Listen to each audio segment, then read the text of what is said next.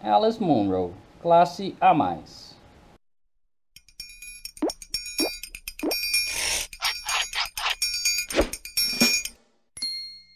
2013, uma canadense ganhou o prêmio Nobel. Alice Munro. No Canadá, ela é comparada ao Anton Chekhov, um famoso contista. O Nobel deu o prêmio para ela, a justificativa foi que ela era uma mestre dos contos contemporâneos. Ela ganhou o Nobel de Literatura por ser uma mestre em contar histórias curtas, contos, basicamente. Eu li A Vista de Castle Rock e O Amor de uma Boa Mulher. A Vista de Castle Rock é interessante que conta a história da imigração da Escócia para o Canadá.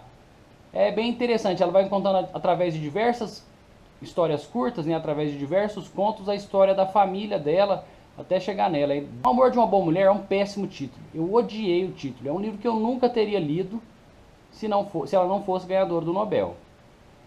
Só que os contos são muito bons, eles têm uma temática um pouco mais feminista, é, mostrando um pouquinho do, do poder das mulheres.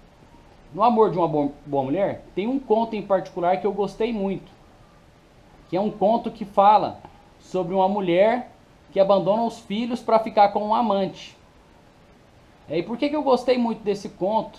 Gostei muito dessa premissa, porque tem um, um livro do Faulkner que chama Palmeiras Selvagens, e tem uma personagem que faz a mesma coisa, abandona os filhos para ficar com um amante. O Faulkner, inclusive, fala uma frase que eu acho incrível, uma frase que me, me fez pensar muito. A frase é a seguinte: O valor do amor é o preço que se tem que pagar por ele. E toda vez que for uma pechincha, você terá enganado a si mesmo.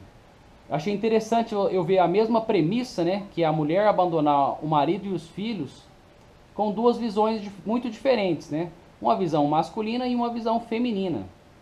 o Faulkner, para quem não sabe, também ganhou o Nobel de literatura é, esse conto da Alice Moore foi, acho que é um dos melhores contos do, do livro, O Amor de uma Boa Mulher.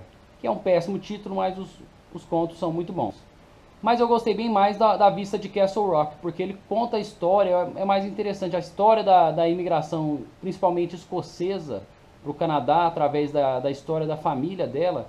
Eu achei muito interessante, eu gostei muito. Então recomendo a leitura da Alice Moore, recomendo principalmente a leitura da vista de Castle Rock. Se você gostar, você parte para os outros aí. Mas vale a pena ler para conhecer. É isso aí, pessoal. Um abraço. Se inscrevam no canal, eu mando nudes.